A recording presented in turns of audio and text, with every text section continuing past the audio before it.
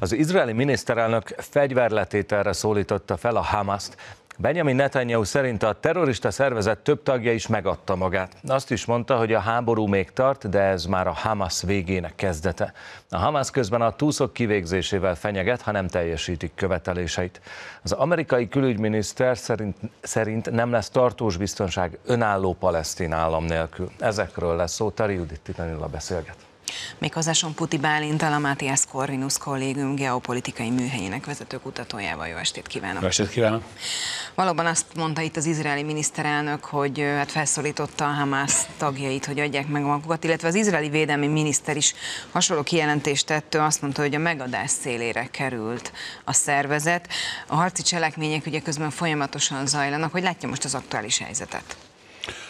Északon nagyon jól halad az izraeli védelmi erőknek a, a hadművelete. Az látszik, hogy a Hamas egyre kevésbé képes katonai ellenállni az északi területeken, ám ennek nagy az az oka, hogy ez a terület már többé-kevésbé mentes a civilektől, nem tudnak a civilek közé nagy részt elbújni, hiszen aki ott maradt, az már szinte biztos, hogy Hamas tag. Innentől kezdve minden egyes olyan célpont, amelyik visszalő, az ö, nyugodtan támadható. Az igazi gondot az jelenti, hogy a lakosságnak része a déli területeken összpontosul, ahol szintén elkezdődtek a katonai műveletek, úgyhogy igazából az a nagy kérdés, hogy utána mi lesz, amikor délen is megindulnak azok a teljes körű ö, szárazföldi hadműveletek, amiket most északon látunk. Ugye érkeztek hírek arról, hogy különböző felvételek, fotók, hogy több száz Hamas terrorista adta meg magát az izraeli védelmi erőknek. Ez tényleg a végkezdete lehet? Két, két irányba kell választani a kérdést. Az egyik része a kérdésnek az egy katonai szempontok szerint megadható válasz, amelyben a Hamas katonai ellenállása valóban az északi területen mindenképpen a végéhez közelít. De ahogy említettem, a déli területek, ahol gyakorlatilag a korábban nagyobb területen eloszló civil lakosságnak a túlnyomó többsége van, ott azért még nem folynak olyan jellegű katonai műveletek, amik ehhez a helyzethez vezethetnének. Az igazi gondot az jelenti, hogy a civil lakosság között sokkal nehezebb úgy harcolni, hogy csak a civileket megóvják, és csak a Hamas támadják. Úgyhogy előbb-utóbb bekövetkezhet a Hamasnak a katonai összeomlása, de ez nem jelenti automatikusan a politikai hatalmának és a politikai befolyásnak a megszűnését is. Igen, mert ugye a Hamas támogatottsága magas, és ugye az igazi felső vezetés az nem is tartózkodik ott gáz Gázában. Pontosan. Azért, azért figyelembe kell venni, hogy a Hamas támogatottságának az alapját a lakosság között végzett munkája jelenti. Ugye a Hamas az elmúlt időszakban, különösen a 2006-os kivonulás, az izraeli kivonulás óta a gázai jövezetből nem csak terrorszervezetként működött, hanem egyfajta közigazgatásként, egyfajta államként is, amely szolgáltatásokat valakinek biztosítani kell a lakosság számára. Az igazi kérdés, hogy a Hamas sikerül megbuktatni és a Hamas tagokat börtönbe csukni, vagy a terroristákat likvidálni, akkor ki lesz az, aki a palesztin lakosságnak, az ottani palesztin lakosságnak az ilyen típusú igényeit ellátja. Igen, ugye itt pont amerikai részről születtek ilyen nyilatkozatok, hogy önálló palesztin állam kell, ez gyakorlatilag a béke kulcsa. Ezt kiszervezheti meg a Hamas, vagy talán a Fatah, akinek ugye ők a mérsékeltebb szárny, de ő nekik nincs támogatottságuk, vagy legalábbis nagyon alacsony. Ez egy nagyon jó kérdés. Több alkalommal, több próbálkozás történt arra, hogy a a palesztin hatóságot, vagy akkor a palesztin kézenlévő területekből egy palesztin államot hozzanak létre, de ehhez valamilyen szinten a palesztin vezetésnek, a palesztin politikai képviselőknek el kéne fogadniuk Izrael állam létét. Ez egy olyan kritikus pont volt a mai napig, amely nem történt meg. Nem nagyon látom, hogy ki lehet és mi lehet az, aki ezen a helyzeten változtatni tud. Ugye érdemes figyelembe venni, vagy felidézni azt, hogy a Fatah valamikor palesztin felszabadítási frontként szinte egy terrorszervezet volt, amely mostanra mérsékelt erővé vált. Tehát az sem kizárt, hogy évek múlva a Hamasból is egy, egy mérsékeltebb szervezet lesz, de a Fatahnak pont az okozza most a problémáját, hogy a mérsékelt hozzáállása miatt a palesztinok egészen kicsi része támogatja csak őket.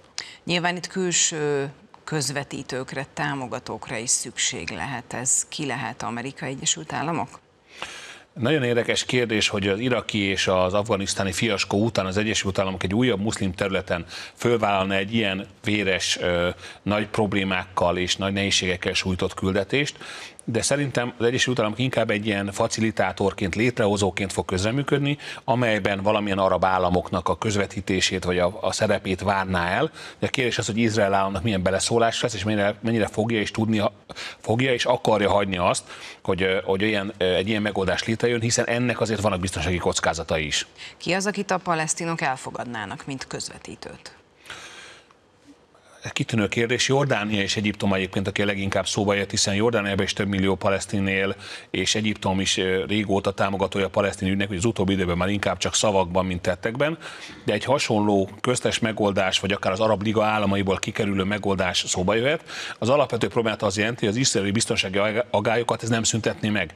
Hiszen ugyanúgy, ahogy a, a Fataknak a rendőrsége és sok esetben szemet huny terrorista, kis terrorista támadások előkészítése felett, ugyanúgy előfordult, hogy az arab államoknak a hadserege vagy a rendőrség is megtenni ugyanezt. Tehát valami nagyon, ér, nagyon érzékeny, nagyon kifinomult együttműködés lenne szükség. Visszatérve a harctéri helyzetre.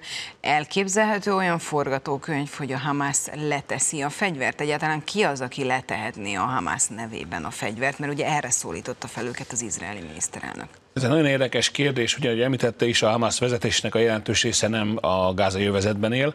Ráadásul, hogy a kommunikációt az izraeli hadsereg minden létező eszköze blokkolja.